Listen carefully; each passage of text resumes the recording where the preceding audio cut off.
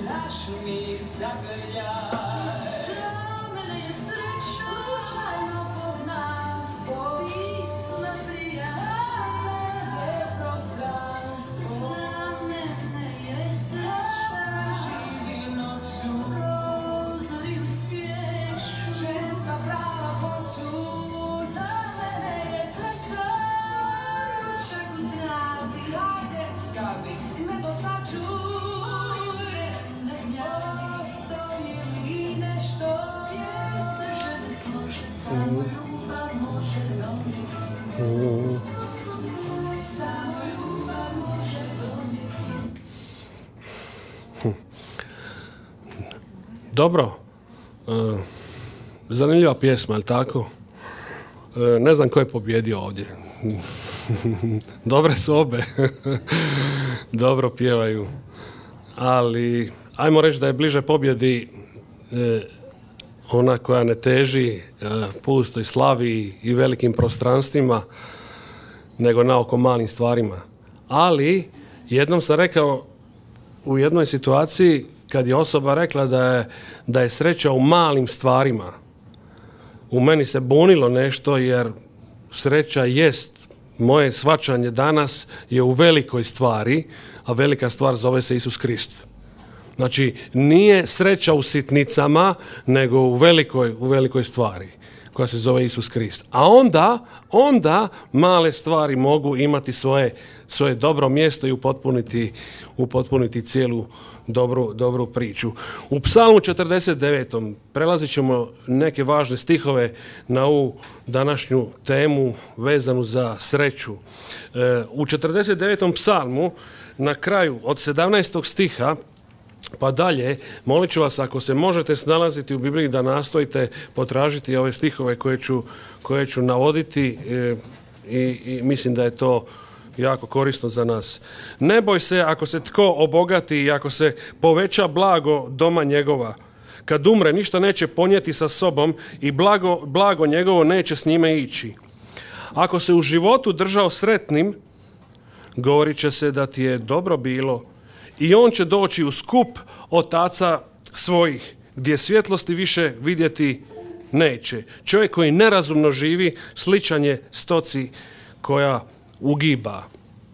Ovdje riječ Božja definira onaj koji je orijentiran na stjecanje bogatstva, on je sličan stoci koja ugiba, niš koristi, niš od budućnosti. To je riječ, to je riječ Božja. E, pisac 73. psalma, Asaf, kaže u jednom trenutku, često ga spominjemo, taj psalam e, u trećem stihu, kaže da su njegovi koraci, da je umalo sklizao zavideći, kaže ovako, jer zločincima zavidjeh motreći sreću grešnika. O čemu se radi? On je motrio, promatrao je svijet oko sebe i vidio je da ljudi koji su bezbožni, niti su bolesni, niti imaju kakvih e, većih problema, ono što se kaže sve ih ide ono u životu, jeli? i to nije lako vidjeti. A on se trudi biti ok, on se trudi biti svome Bogu ok, jeli? i dobiva za uzvrat što? To svaki čovjek može upasti u tu zamku. Čovjek koji se smatra Božim, koji se smatra kršćaninom. Jeli? I ova riječ danas nas e, točno nas točno a, u- po- posvještava, upozorava, e, hrabri da jasno definiramo određene stvari. Ovdje se, ovdje se radi o sljedećemu. Čovjek kad promatra, živi, živi svoj život, promatra svoj život, nastoji oko nekih stvari. One ne moraju biti materijalne. Vidjeli smo ovdje, može biti samo slava. Može biti samo neko priznanje od ljudi. Može biti samo neka titula. Može biti samo malo tišine. Ja hoću samo malo tišine, to mi je dovoljno za moju sreću. Čovjek može biti izigran na tisuće raznih načina i zato nam treba riječ Božja da bi nas usmjerila jasno, da bi razrezala određene stvari kojima smo skloni u pojedinim trenucima, u pojedinim fazama kako bismo se usmjerili ići, ići Božim putem. Ovdje kaže, ako bacimo pogled u 73. psalmu, u 73. psalam u nastavak, je li kaže, ove ljude koji ne maraju uopće za Boga, mnoge od njih, njih, kaže, smrtne ljudske ih nevolje ne biju. Jel, I čak što više, oni su oholi i ta oholost traje i oni žive ko da ništa nije. I čovjeku se može učiniti, pa gdje je tu Bog? Gdje je tu Bog? Ali pogledajte koja je tu greška. Greška je kad čovjek misli da u roku tom i tom bi netko trebao stradati to jest snositi posljedice svoga e, življenja. Ne, on će snositi prije ili kasnije i to je amen. Ja ne moram procijeniti kad je to. Ja znam ako čovjek nastavi na takav način da će, ga, da će snositi. I, I ako je to istina, ja se tome ne radujem. Ja ne likujem kao kršćanin. Meni je žao, ja nisam kao kršćanin u podređenoj poziciji. Pa neka cijeli svijet uspjeva, ako je bez Boga, on će propasti. I ja se tome ne radujem. Se slažemo s ovim? Jako, jako, jako bitno je. Znači, ne, e, što nam preostaje? Što nam preostaje? Riječ Božja. Riječ Božja kaže, ona ovdje kaže, jeli, e, zaista, kad, kad shvatim što takve ljude čeka ako se ne promijene, jeli, ja o njima, zaista ih na klisku stazu postavljaš. I to moramo što prije, jer možemo obitavati danima, mjesecima ili godinama u mislima, vidi kako je ovaj, vidi kako je onaj, pa di si Bože, tu sam, stalno sam to i potpuno držim stvar u kontroli. Amen. To je, to je živimo u vremenu koje u kojem nam treba riječ Božja da rasjeće što je potrebno rasjeći da očisti prostor na- u nama samima da bismo mogli živjeti Bogu ugodan život. Bogu ugodan život. Idemo dalje. Ovdje u Luki 16. poglavlje, onom da ovo potkrijepimo dalje. Znači, kad govori o onom bogatašu i o Lazaru, Jeli, kaže, e, zanimljiv mi je ovaj stih, jedan stih ovdje u 16. poglavlju Lukinog evanđelja, to je broj e, 19. Bijaše neki bogataš koji se oblačio u grimiz i lan, a iz dana u dan se sjajno gostio. Iz dana u dan mu je bilo dobro. Sjajno se gostio. Jedna od najtragičnijih priča je upravo ovo u Novom Zavjetu. Čovjek koji se iz dana u dan sjajno gostio, neko će reći pa šta je tebi? Sjajno se gostio iz dana u dan sve do svoje smrti, pa di ćeš bolje? Malo Morgan Bo kaže, karikiram naravno, bilo bi dobro da je imao kakovu nevolju. Nema strašnije stvari da Bog pusti, hoćeš tako, evo te, otvorit ću ti čak i vrata toga, ali to će proći evo ovako. I dođe, znamo gdje dođe taj čovjek. Dakle, zaboravimo zauvijek, od dana današnjeg, ako netko još ima dileme, što čeka čovjeka ako se ne promijeni. Ako je njegovo bogatstvo materijalno, ako je njegovo bogatstvo, ne samo lažno bogatstvo koje mu se klanja, koje ga vodi u njegovom životu. Ono ne mora biti materijalno, ono može biti, može biti da se klanja čovjeku, da se klanja bilo čemu drugo, stvarima, uspjehu, jeli, koja nema materijalni karakter. Znači, ovdje ovaj čovjek je imao sustav vrijednosti u kojemu nije bilo mjesta za Boga i to se kad je umro više nije moglo promijeniti. Nije postojala druga šansa. Dok je čovjek živ, postoji druga šansa. Kad čovjek umre, nema druge šanse. I zato je istina kad u knjizi propovjednika kaže u sedmom poglavlju, prvi stih, kaže i bolje je smrtni dan nego dan rođenja. To jest prijevod, veću težinu ima smrtni dan nego dan rođenja. Dan rođenja određuje 10, 15, 20 ili, ili 90 godina. Smrtni dan određuje cijelu vječnost. I zato za ovog življenja treba donijeti prave, prave odluke. Prave odluke. I ovo se odnosi ne samo na ljude koji ne poznaju Boga, ovo se odnosi i na one koji poznaju Boga. Jer možda svojim življenjem, svojim, svojim mješavi, mješovitim življenjem zapravo priječe veliki blagoslov koji Bog je namijenio, ne mali blagoslov, veliki blagoslov u njegovom ili njezinom životu.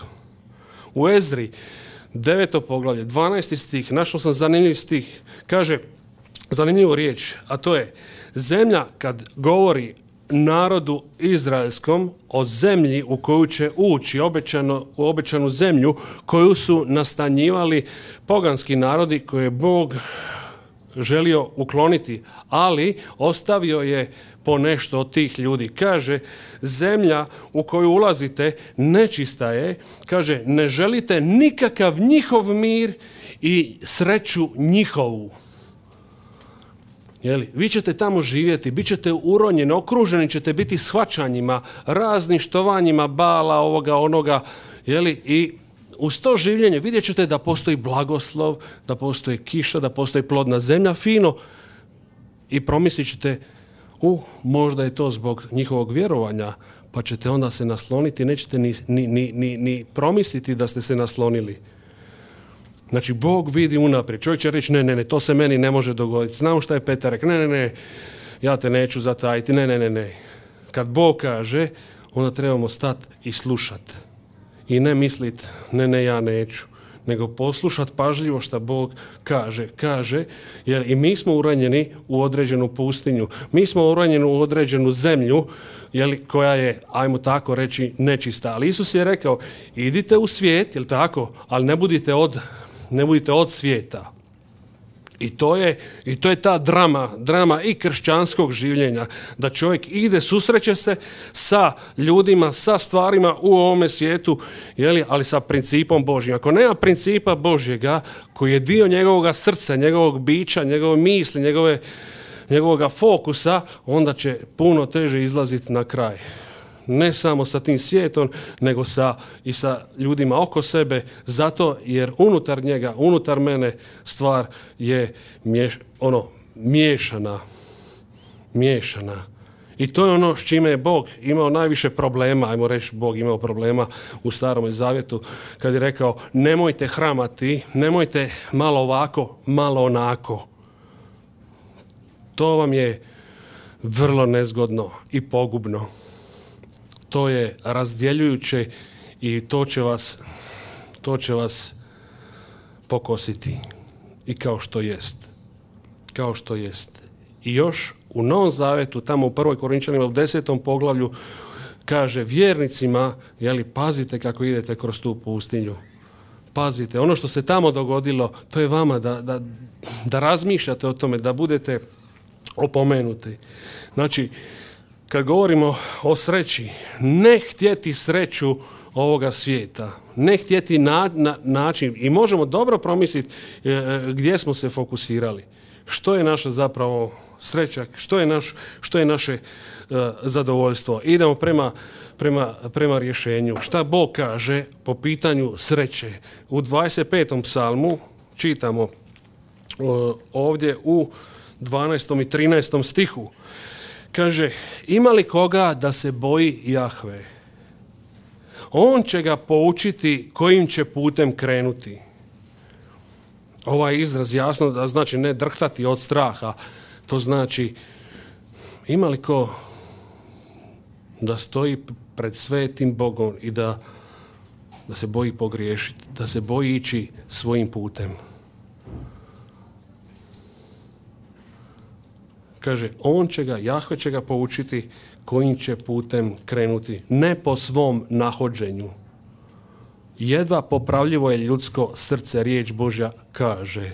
Jedva popravljivo. Ali ne samo od sebe, nego od Boga, ako mu se dade. I nastavlja dalje. Duša će mu u sreći počivati. Aha, Onaj koji ide putem Jahvinim, koji ide putem Božje riječi, kaže duša će mu u sreći počivati. Aha, ovdje se radi o stanju. Ne sreća kao okolnost, nego sreća kao unutarnje stanje. Povezano usko sa slušanjem Boga. Sa slušanjem Boga. Kad kažem slušanje, znači slušati i poslušati. To je, na to se odnosi.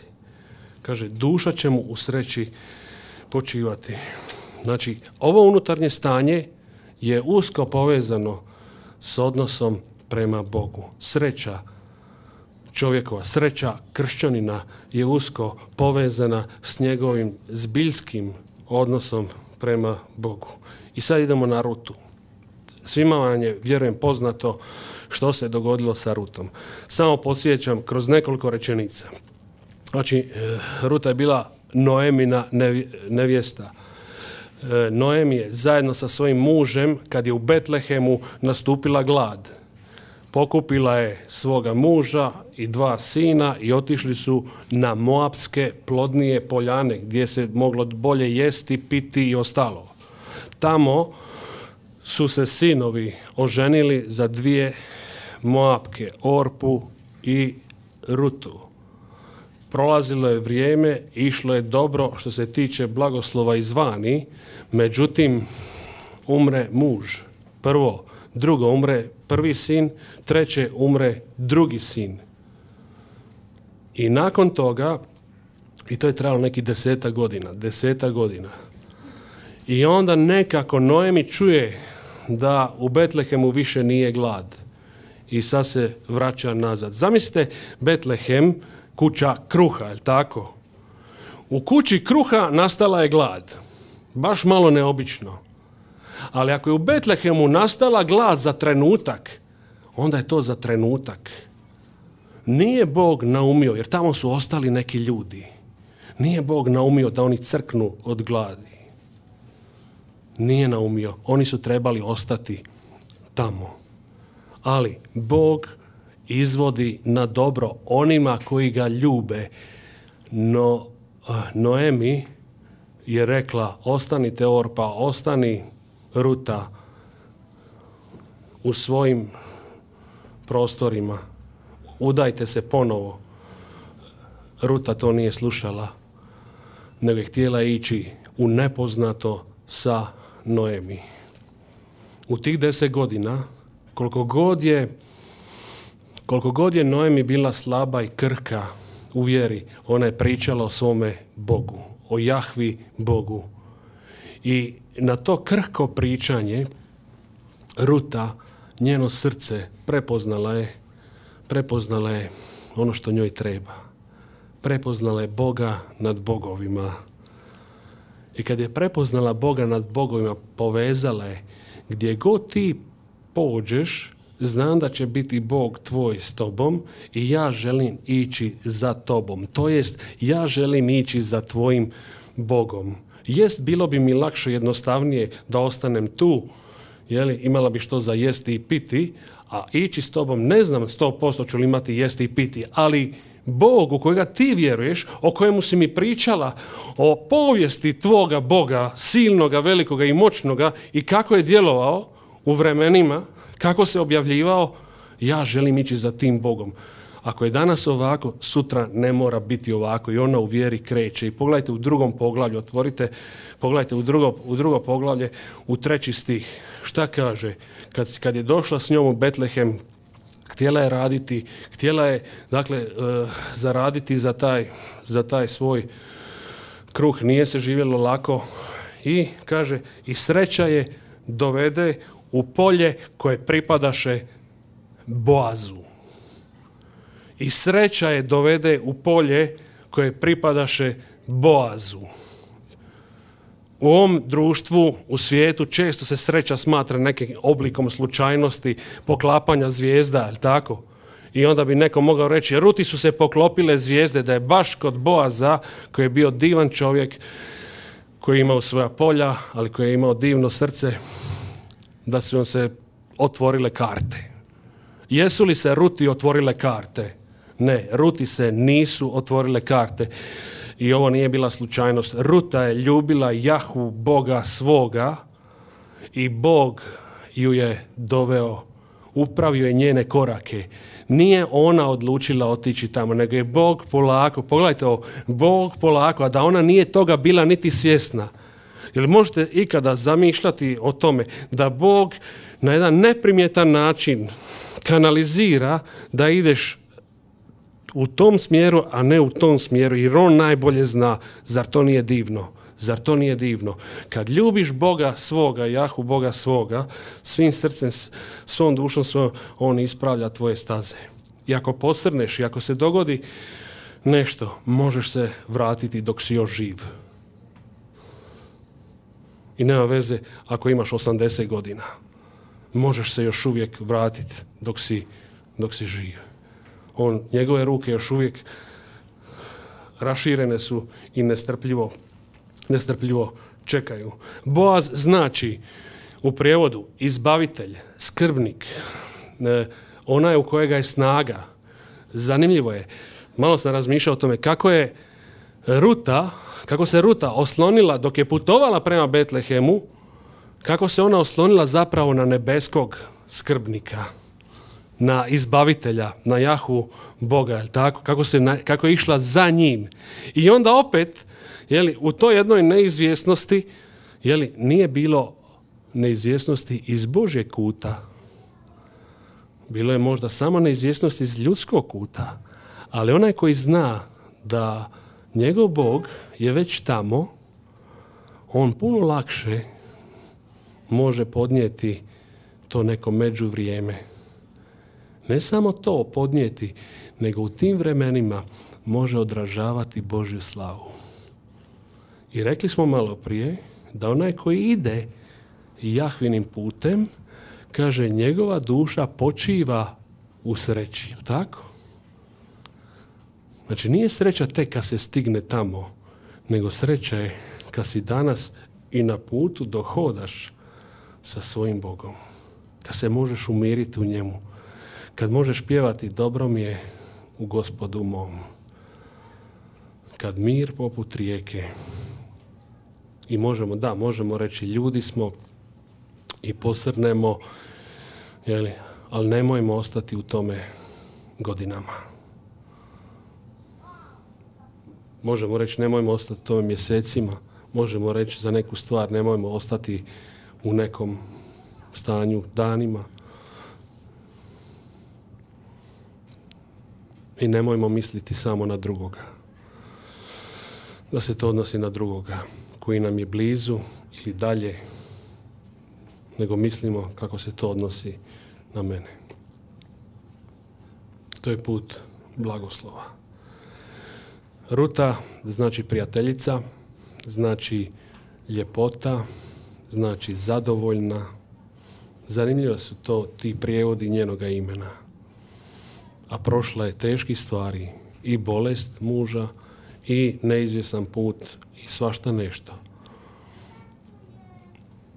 Ali se držala Boga, Boga svoga.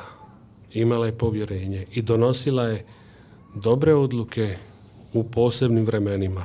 Nije išla ispred Boga, nego je čekala, čekala je na Boga. Ona je bila s Bogom i zato je Bog bio s njom. Vidite ovo. Ona je bila s Bogom i Bog je bio s njom. To je sreća. Kad je Bog s tobom. Kad si ti s Bogom, a Bog je s tobom. Zato je za Josipa u Egiptu, nakon što su ga braća prodala i kad je došao u stranu zemlju kod Potifara, jeli, u, postanku 39. poglavlje, drugi, drugi stih je jako ovdje zanimljiv u kontekstu ove teme. Kaže, Jahve je bio s Josipom, zato je u svemu imao sreću. Znači, kroz ta događanja teška imao je sreću, imao je onoga koji se brinuo za njega. Jer je Josip bio s Bogom. I kad ga je Potifarova žena željela iskoristiti, da nitko ne zna, da nitko ne zna, znamo što je Josip rekao. Daleko od mene da sagriješim protiv Boga i odupro se napasti. I Bog je to vidio. Kao zaslugu što se odupro napasti, završio u tamnicu. I mogao reći, Bože, doviđenja. Ja se držim tebe, a koja mi korist od toga. Ali Jahve je bio s njim i zato je imao sreću i zato nije klon. Bog je dao da ne klone duhom, Bog mu je dao sretne okolnosti i one daljnje priče, snove i tako dalje. To nije slučajnost. Vidimo da je Bog iznad svega, ali vidimo čovjeka koji surađuje i kojemu je stalo do samoga Boga. I pri kraju ću spomenuti Jošu, danas jedan dio, a dok sam ovo pripremao, došla mi je jedna nova tema koju ću, vjerujem, sljedeći put podijeliti s vama, ali to neću sad govoriti o tome. E, ali dok sam ovaj odjeljak od, u prvom poglavlju od trećeg do osmog stiha, koji je jedan od najpoznatijih dijelova u Starom Zavjetu, e, niknulo mi je nešto, nešto dodatno, a vjerujem da ću to moći s vama sljedeći tjedan podijeliti. Ako pročitamo ovdje ova, ova ovih 5-6 stihova, evo ovako glasi. Svako mjesto na koje stupi vaša noga, dajem vam, kao što obećah Mojsiju. Od pustinje i od Libanona pa do velike rijeke, rijeke Eufrata i sve do velikog mora, na sunčanom zapadu. Sve će to biti vaše područje. Nitko neće odoljeti pred tobom u sve dane tvog života. Ja ću biti s tobom, kao što sam bio s Mojsijem i nikada te neću napustiti, niti ću te, niti ću te ostaviti. Vidimo obećanje. Ja ću biti, ja ću biti s tobom i nikad te neću ostaviti. To je ono što je do mene. Znači možeš biti siguran u mene. Što se tiče ljudi, ne moraš nikada biti siguran, ali što se tiče mene, možeš biti siguran uvijek. Neće ti biti lako, neće vam biti lako, ali ja ću biti s tobom, ja ću biti s vama. I sad pogledajte ovo, pogledajte njegov dio. Kaže, budi odvažan i hrabar, jer ćeš ti uvesti narod ovaj da primi u baštinu zemlju za koju se zakleh ocima njihovim da ću im je dati. Samo budi odvažan i hrabar da sve učiniš vjerno prema naredbama koje ti je dao Mojsije, sluga moj. I vidite sad dalje. Ne skreći od toga ni desno ni lijevo, da bi ti bilo sretno sve što poduzmeš. Ne skreći od mojih naredbi ni lijevo ni desno, da bi ti bilo sretno što poduzmeš. Ako budeš skretao lijevo, desno, neće ti biti sretno u onome što budeš poduzimao. Ovdje vidimo Jošuin dio. Jošua koji je bio ugodan Bogu, ali on mu daje poticaj, daje mu ozbiljan, ozbiljan, ozbiljan savjet, jer Bog zna, makar bio Jošua, makar bio ne znam ko ovdje među nama i ne znam gdje, svakome trebao, budi sa mnom, vrši naredbe, ne tri dana, ne tri mjeseca, nego do kraja svog života, jer tko ustraje do konca bit će spašen. Ne samo spašen, nego će biti upotrebljen.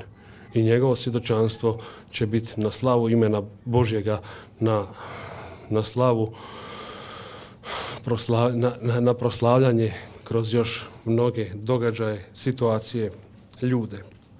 Ne skreći ni desno ni lijevo. Skretanje znači ovo. Skretanje lijevo ili desno, kad te uvati strah. Pa si u strahu, bojazni, ajme kad će ovo, kad će ono, hoće li ovo, hoće li ono. I ljudi provode u strahu godinama. Ili u nekoj gorčini, a vidi kako je ovo meni mogao ovo, kako je ovo, a, ili, ili Bože ono, a zašto si mi ovako dopustio, zašto si ti stavio, ili sve neko unutar sebe i to čovjek može obitavati godinama. Može u kombinaciji ili neko neopraštanje, bavljenje sporednim. Zbog čega smo mi tu zapravo? Koja je to mjera življenja? Na koja je to mjera življenja? Prepoznajemo li to za sebe? Nije to lako, ali ako ne obitavamo u riječi blizu Bogu, iznoseći mu svoje srce, teško ćemo prepoznati. Teško ćemo imati vodstvo, nego ćemo živjeti onda više stihijski. Boga se nikad nećemo odreći, ali živjet ćemo stihijski. A nitko od nas ne želi živjeti kako ga rijeka nosi. U izrekama 28.13 kaže Tko skriva svoje grijehe, nema sreće. Znači, zašto netko nema sreće? Jer skriva svoje grijehe.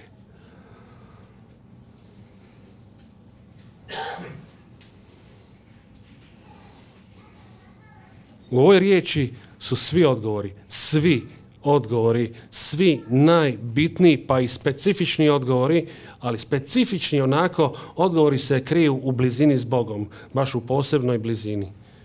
Tko traži, nalazi. I kaže Bog Jošuji, ne skreći od toga ni lijevo ni desno, da bi ti bilo sretno sve što poduzmeš. I u osmome stihu neka knjiga zakona, neka knjiga zakona Jošua.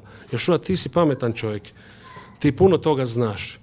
I ne bi došao ovdje da ne znaš moju riječ dobro.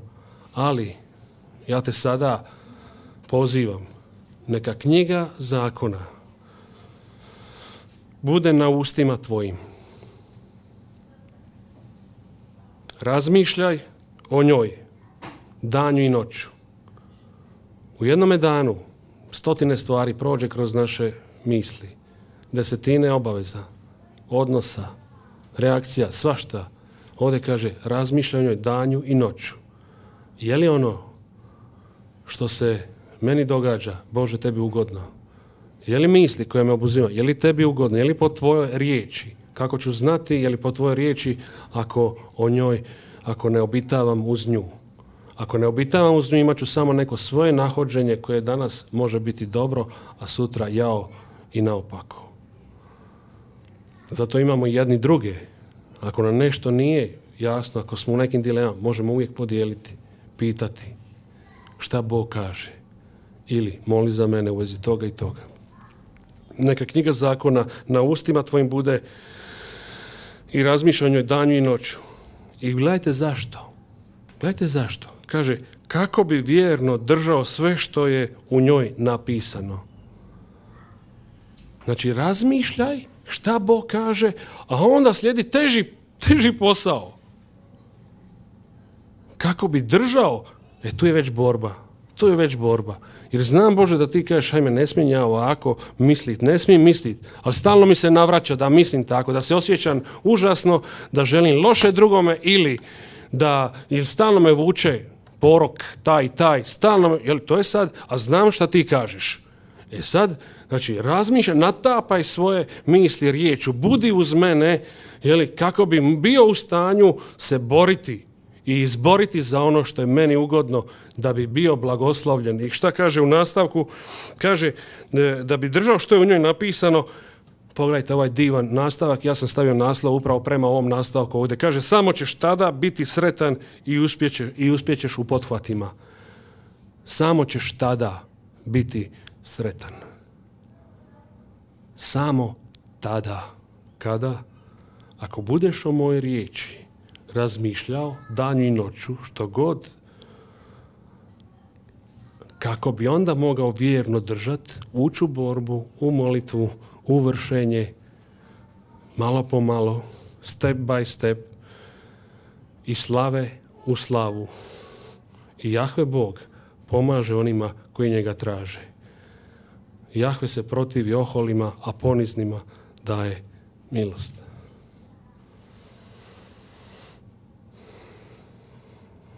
Čitaj, razmišljaj, vrši, samo ćeš tada biti sretan. Isus Krist je bio, možda niste o tome promislili, najsretnija osoba na koja je hodala ovom zemljom. Zašto? Jer je vršio sve. Savršeno je slušao očevu, očevu volju. Čak i u nevoljama kroz koje je morao proći, on je znao da je u Božoj volji i zbog toga imao mirnoću. Zbog toga nije šizio, da se tako izrazim. Jer je znao da je u očevoj volji. Mnoge stvari oko nas nisu dobre. Istina je ova, ja prvi za sebe kažem, prije ću razmišljati kako stvari oko mene nisu dobre i ljudi, nego što ću razmišljati. Sklon, sklon sam ja tome, mislim da, da je većina nas sklona tome, da najprije vidimo, jer to je početak, početni grijeh. Nakon pada, to je, to je ušlo u čovjeka. I nemojmo to pocijeniti. I zato se trebamo boriti protiv toga. Možda se godinama uopće ne bavimo time, ali možda dođe dan, trenutak, situacija koja nas poklopi, sašije, da jednostavno želimo s Bogom obnoviti odnos. Ne rješavati okolne stvari, ljude. To dolazi posljedično što ima biti. Ali to nije naš posao.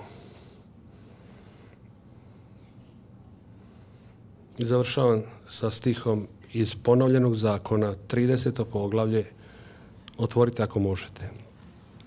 15. i 16. stih. Ponovljeni zakon, 30. poglavlje, 15. i 16. stih.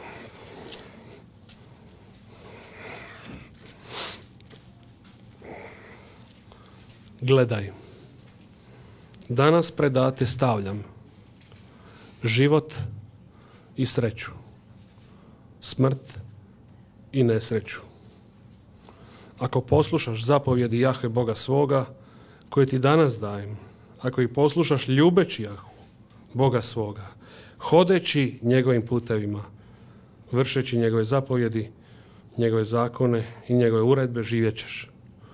I razmnožit će te Jahve Bog tvoj i blagoslovit će te u zemlji, u zemlji u koju ulaziš da je zaposjedneš.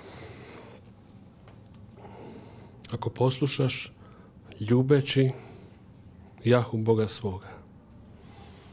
Kad nekoga ljubiš, osluškuješ njegovu riječ.